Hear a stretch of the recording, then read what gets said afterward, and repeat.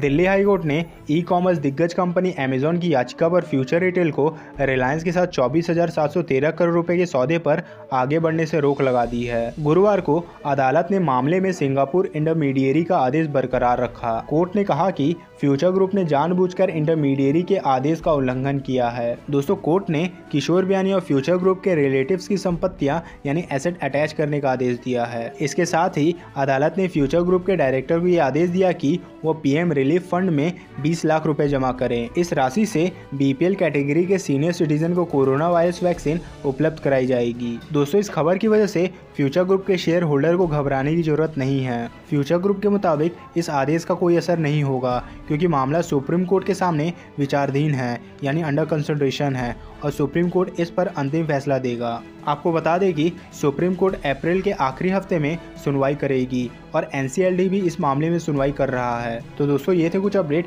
Future group को लेकर। इस वीडियो में फ़िलहाल इतना ही। मिलते हैं नेक्स्ट वीडियो में।